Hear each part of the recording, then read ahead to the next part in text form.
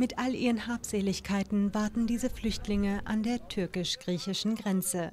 Ihr Ziel die Europäische Union. Seit der türkische Präsident Recep Tayyip Erdogan die Grenze zur EU geöffnet hat, versuchen tausende Menschen sie zu überqueren, teils mit Hilfe von Schleusern. Die Migranten kommen weiterhin hier an. Es sind Tausende, schwer zu sagen, wie viele es genau sind. Tausende Menschen gehen hier durch, von morgens bis abends.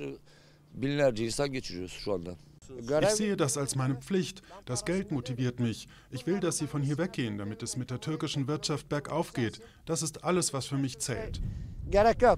Infolge der Eskalation des militärischen Konflikts in Nordsyrien öffnete die Türkei ihre Grenzen für Flüchtlinge, die in die EU gelangen wollen. Griechenland versucht seit Tagen, die Ankommenden am Grenzübertritt zu hindern. Wegen des massiven Andrangs hatte Athen die höchste Alarmstufe ausgerufen. Zudem will das Land keine weiteren Asylanträge mehr annehmen.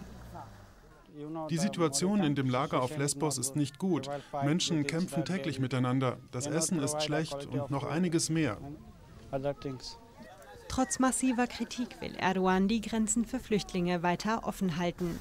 Es sei nun an der EU, ihren Teil der Last zu tragen, sagt Erdogan. Bundeskanzlerin Angela Merkel nennt die türkische Grenzöffnung inakzeptabel.